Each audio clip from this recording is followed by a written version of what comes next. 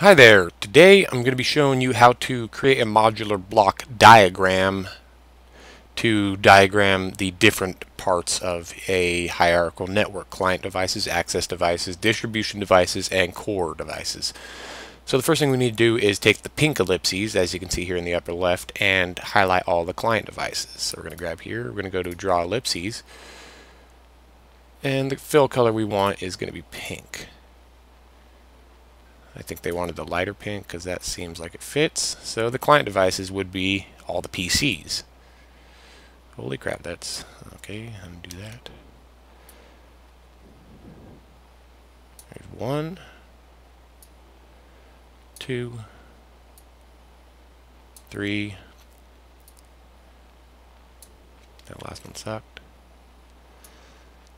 Four, five, six, and seven. Those are all the client devices. So what we need to do next is grab a blue color. Looks like light blue. Very light blue. And we're gonna we're gonna highlight all the access layer devices, which in this case would be the switches. So we're gonna go ahead and that was horrible. Try it again. still horrible.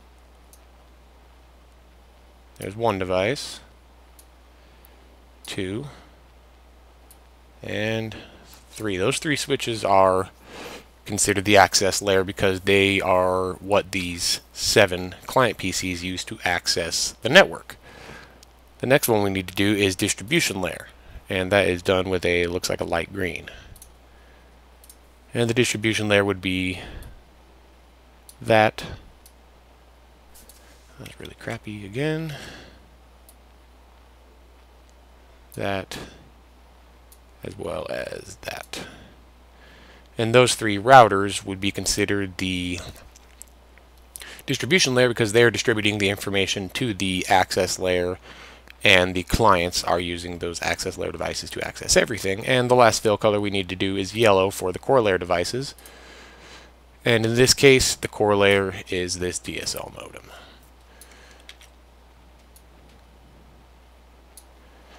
Alright, and do the, for the best explanation I can do, the core layer device is what connects to the where you'd be gathering the info at.